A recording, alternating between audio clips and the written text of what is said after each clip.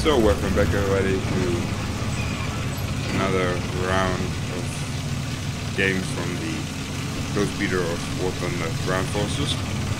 This will be a compilation of different games I had this week and will showcase uh, a evolution of my playstyle and the different tactics I employed over the course of the games I had. We're starting off here in this Panther on a very traditional point here overlooking the C capture point as well as the ridge line opposing this which is basically the ridge line where all the enemy team normally um, at the beginning of the game is getting into heavy firefights with this ridge line you can see there are two T-34 85s up there. This is the first time I'm really had had the possibility to look at this map in detail. I saw several videos beforehand and had some very um, short games on this, but this is the first real time since the video started and this map was introduced that I could familiarize myself with the lays of land as well as the terrain features. For example, things like this hole between the two rocks here, from where you can shoot at the enemy while staying in, in heavy cover. Unfortunately, I didn't calculate for the shell drop here, so my shell goes a little low and the T-34 gets away. These are all realistic battles, so the shell drop isn't marked by an X. You can see me here, I'm scanning this ridge line.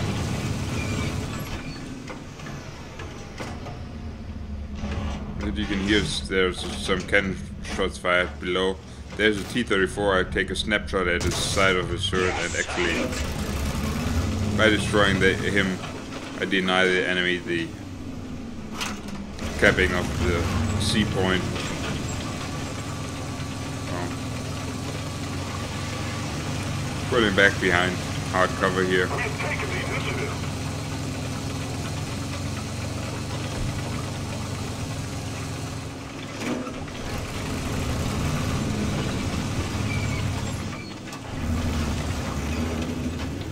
One thing I'm doing wrong quite a lot is that I'm actually going over here sideways. You can see here he is being decapped but just as I was about to move over there to have out I've spotted this T-34-85 on the opposing ridge line. He's now there at the base of the turret, eh, of the base of the bridge here but my shot goes low again. He damages my suspension. I feel like a total moron because I gave him a wonderful shot at my side. So I'm angling my tank a little bit more. Scanning the ridge line. And if you look closely you can see him popping up for a second up there at the base of the bridge again. I'm setting on fire but he gets his vengeance and his last time, uh, his last shot basically damages my suspension so I'm really slow now. So then the heavy German tanks are naturally already and that's one of the things I've really found out this week. Especially with the German heavy tanks you have to build up your momentum and have to keep up uh, or keep your momentum going to really get them to shift from position to position. And if you don't know the maps, you can easily uh, go over obstacles that you won't see at the fir uh, at first, but that really mess up your your momentum, your flow. So I'm spotting this SU-100 here trying to, to shoot on the rebound of my braking, but timing it wrongly and um, the shot actually goes high. Oh. Aiming for the lower glacis here, but only hitting his uh, frontal armor. And he now actually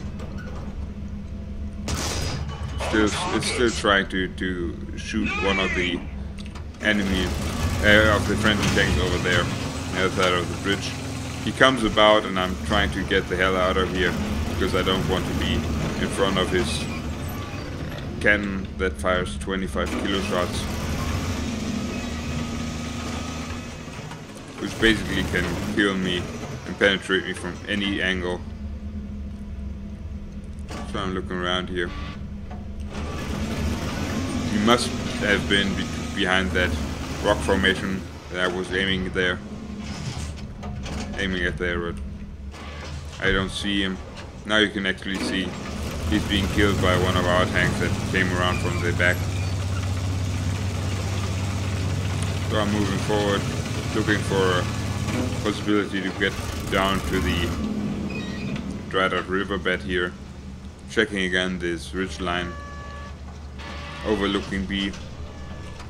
There, the last known positions of the enemy tanks was up er, um, around the point A, and if one of them decides to peek over the ridge line, he has great shots on everybody that's in the area here around point B. So I'm reversing a little bit. Um, actually, I've decided to go over the bridge here, which is normally a very dumb play, but considering that I have damaged suspension, I'm thinking about trying to stay on flat surfaces and on the rolls to build up my momentum, which will backfire in a second. You'll see I'm actually damaging my track once I get down this bridge. There you go. So, not really my day today.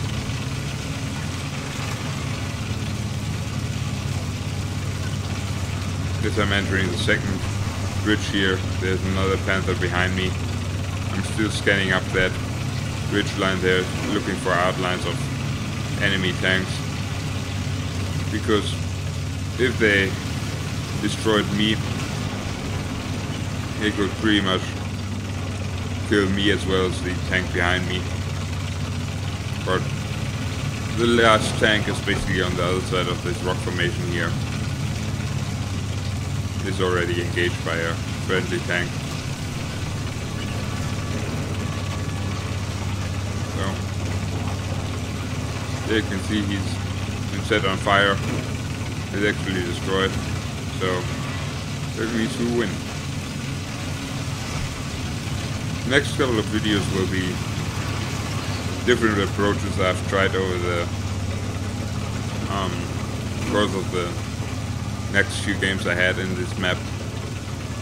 And we'll close with another map, uh, another run of this map, where I basically, which was basically the last um, game I've played this week, and where everything just fell into place, and I've played a really good game, even though I was I, I was defeated at the end. So, in the meantime, you'll see me here in my Jagdpanzer. The Jagdpanzer is basically the, the, the Panther I'm, not the tank that I'm now specializing in. Getting down into this trench here. Firing on the move on this T-44, setting him on fire. I don't want to stop. There's another T-44 down there at point B, as well as an IS-2 in the 9044 variant.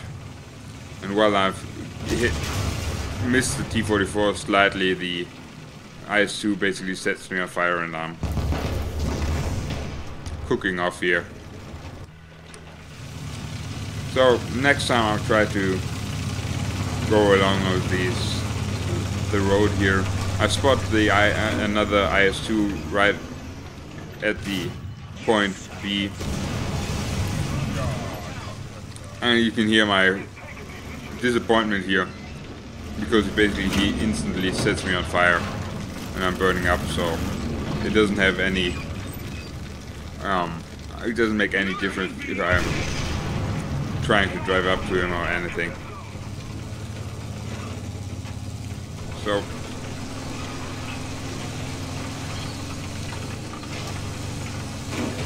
I'm at point B again here race over here to try to to find different places where you can hold down on this tank, which will come in handy later.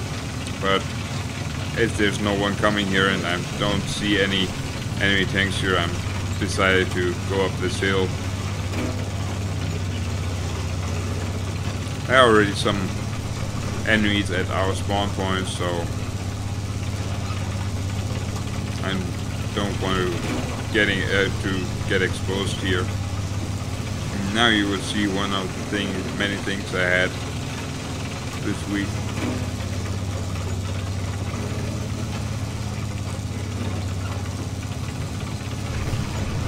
There's a shot basically just missing me by inches and I know I have to, to really shift here to get out of the firing line. I hope to achieve that by moving over here. I'm checking back here.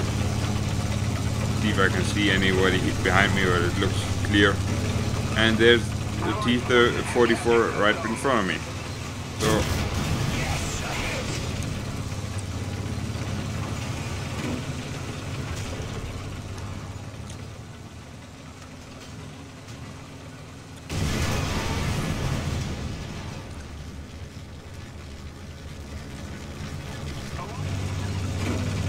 that didn't fare too, uh, didn't fare too well in that engagement. So next time I'm trying to use the incline on the C point, and now you will see actually what devastating effect one an enemy tank can have if they're located in the um, area where I was in the first video, because there's an IS-2 that actually climbed up there and I'm, while I'm checking back here I can see him you can see him firing and he basically killed me instantly all the while my teammates are down below and trying to cap like morons because they didn't realize there's an enemy even behind them. So in the next situation you can see me here again I'm went in this little ditch there uh, below the ridge line of the A uh, of point A. And I found out that if you hold down on on inclines with the Jagdpanther Panther the enemy has a really hard time to to hit you or to, to damage you through your sloped armor. I've put already one into this T-44 which tries to rush me.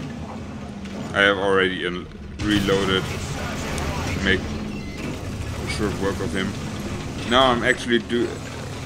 I'm not quite sure if it would have actually benefited me if I would have blocked this IS-2 and um, gave him a shot on the on the frontal arm of me. This way, he, he shot past me, could turn his turret. I had no video, I had no chance of actually turning around and, and getting a shot at him, so. So, this brings me to the last video.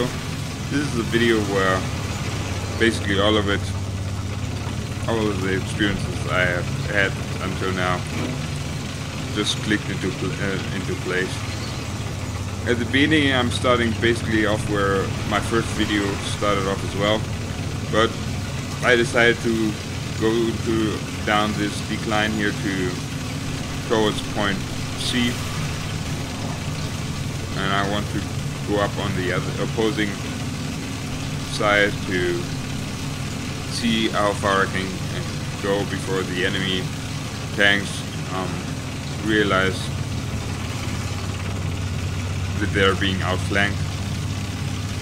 I'm damaged my tracks already, as is good fashion this week on my on my tanks, on my games.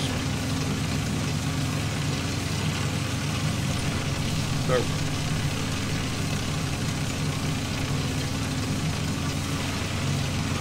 we made it all across the valley, starting to climb up to the enemy spawn here. Pre-aiming on the corner.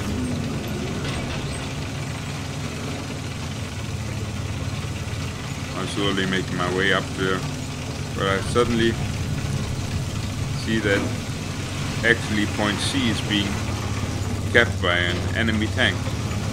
So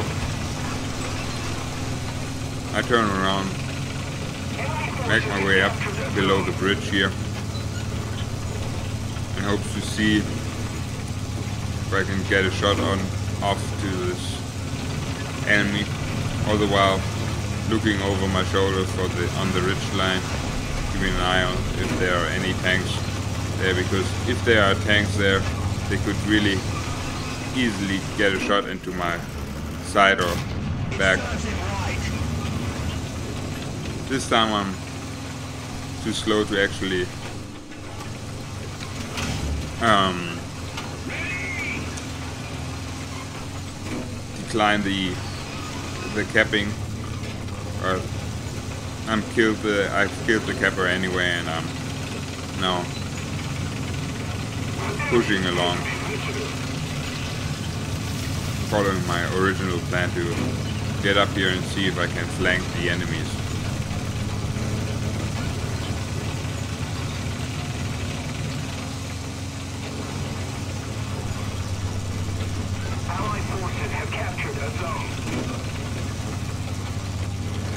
So I saw this T-34-85 up there. Unfortunately, even though I'm I stopped and thought I had given him enough lead, I actually went a little low and he survived. So I continue on forward. There seems to be a pretty big fight over there. One of my teammates is in need of help. I'm moving forward through this small wood here, woodland area.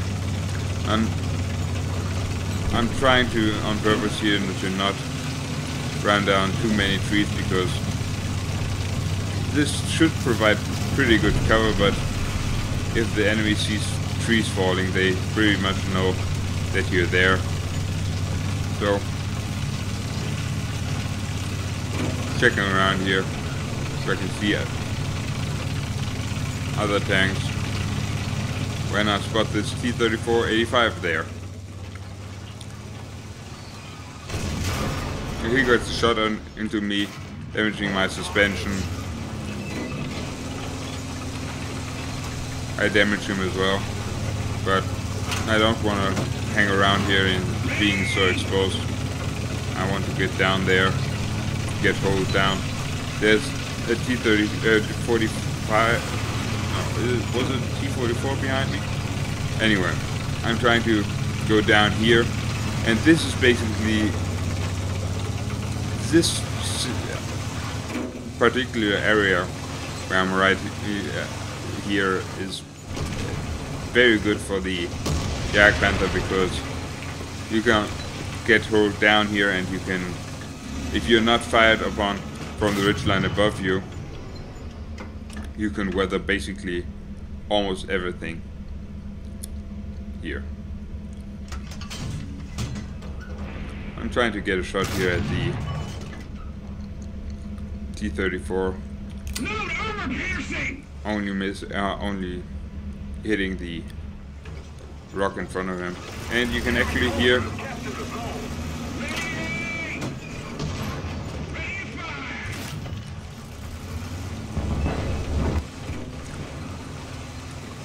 there were engine noises and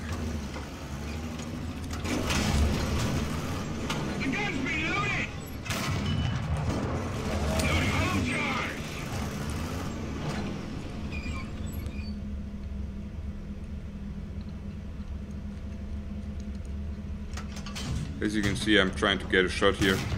While actually, out of nowhere, a wild T-34-85 appears, which seems absolutely oblivious to the to the fact that I've just shot several meters right next to him. I'm being shot here, uh, being hit here, but still setting him on fire. So now my tracks are damaged. You can see he's cooking off over there. There are several tanks in front of me now. So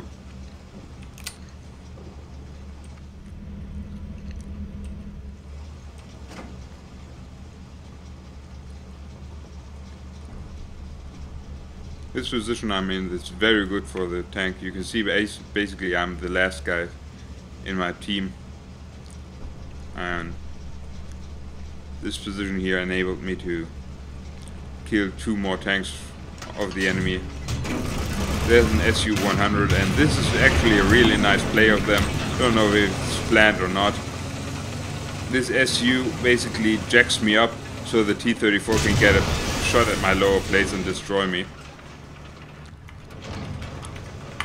So that's it. Hope you really uh, you enjoyed this little view of the Ash River map, as well as the different approaches you can have here. I generally find that when I'm trying to get uh, uh, going the go the route over C, I'm basically more effective than trying to, to press on B or A. And the aggressive style that I've developed over the, this week's games really sometimes caught the enemy team on the back foot and I've had great success with it. So, hope you enjoyed this and to, hope to see you on the next one. Bye.